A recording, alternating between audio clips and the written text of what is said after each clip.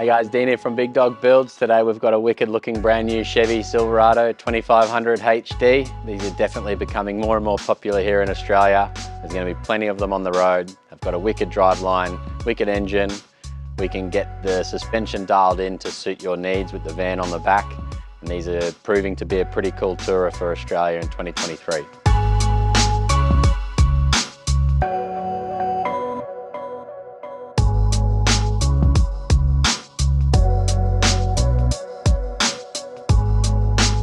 This one here is a little bit different. We've kept it nice and low. We have gone wide, we've gone big tyres. What comes with that is a lot of trimming, a lot of modifying to get the wheels to turn inside the guards, but this thing looks wicked. It's got a two to three inch King's lift, Superlift upper control arms, We've got the King shocks obviously with this lift here, the 2.5 remote res adjustable both front and rear. We've then done the full leaf spring upgrade to suit the canopy on the back. I'll get into that one in a second. Getting the 37 inch tyres with only a two to three inch lift on this one's gonna be a pretty cool looking tourer. It's got the bronze methods, 20 by 10, neg 18 with the 37, 13 and a half BF muddies. So this thing looks amazing. It started off with an idea last year. Muz got in touch. We planned out the full matte theme for this one. So we've gone for a combination. We didn't know how far we were going to go, what matte parts we were going to go on the side of this one. So I've decided with a textured black front bar from Off-Road Creative, which matches the full Off-Road Creative canopy, also in the textured black powder coat finish.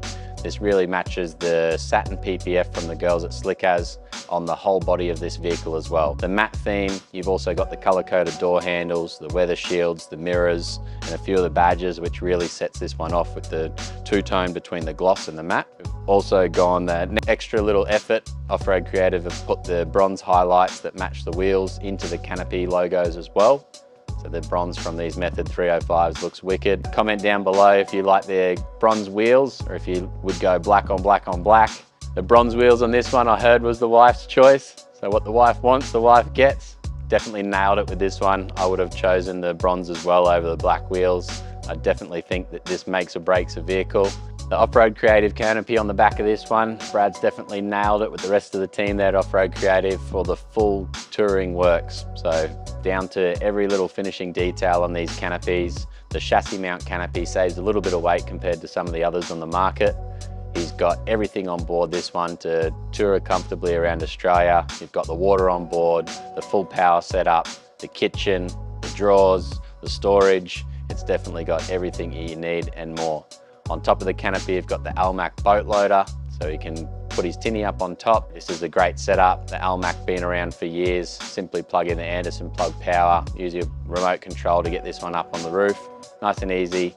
Definitely part of the process there if you're choosing the off-road creative canopy. Get the boat loader installed at the same time. After you do a canopy, no matter what vehicle you get, we definitely recommend getting the leaf springs reset in the rear. So we work with a local company here some great feedback on this one. Getting the suspension dialed in, the weight of these leaf springs to suit the weight of the canopy. We've then gone and installed the airbag leaf helper kit as well. So this is the triple bellow leafs in uh, leaf helper kit in the back of this one. With the van on the back, you're able to use the wireless pressure control to up and down the pressure on these ones with the van on the back. Um, with just the canopy, you won't really need to run much air at all. What we like to do is set the vehicle up to not require the air. It's always there just in as assist. We double up the compressor on board with this one, so Off-Road Creative do the ARB twin compressor. We tap into that for the air pressure control for your up-down controls. We can also relocate your outlets to, to the front and rear of the vehicle as well. But having a nice neat setup inside the toolbox is definitely a must. The LED lighting on this one, the Off-Road Creative front bar has got the 30 inch STEDI light bar built in, as well as the two C4 Cube LED lights as well. The team at Off-Road Creative have then gone and installed a second 30 inch light bar on top of the hoop on this one. Looks amazing, great output from this combination. We've then gone and done our signature Big Dog roof rack. So this is the V1 for the Chevy 2500. This is the V1 platform with the STEDI LED combo. So you've got the 50 inch STEDI curved LED light on the front with the built-in DRLs. This is a great output light. It'll give you both combination and distance as well. We've then gone and installed the STEDI work lights to the sides as well.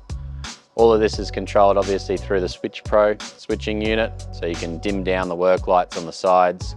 You can turn the front light bars only triggered through when the high beam's triggered, so we keep it fully legal. This one's got our signature comms pack being the 1.2 meter Cel-Fi whip with the Telstra Cel-Fi Go combo, as well as the 680mm UHF antenna for the GME UHF XRS 370 combo pack. This one's got a safety Dave camera that we've hooked up as well as the safety tyres for the caravan um, tyre pressure sensors. So these Chevys have got a few different combinations you can run. It is probably the best platform. If you haven't built the van yet, you can get the GM cameras installed on the back of the van.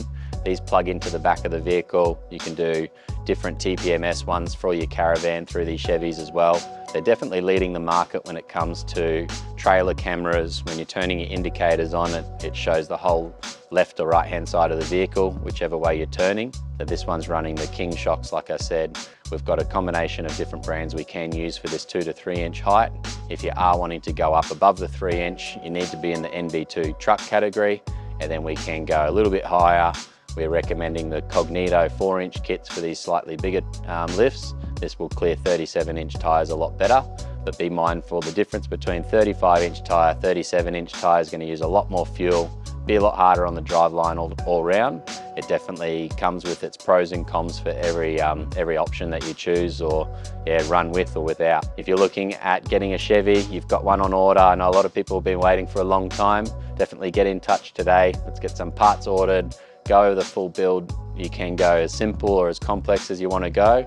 We can do custom paint here at Big Dog Builds, chrome deletes, you've got your PPF wrap, you've got yeah lots of different things, ceramic coating, and then all the usual air on board, suspension, wheels, tires, roof racks, bar work, you name it, we can do it here at Big Dog Builds. If we don't do it in-house, we can definitely work with some key companies around this area and get the whole thing done for you in one hit. Get in touch today, guys. I look forward to having your Chevy 2500 here in Big Dog Builds in 2023.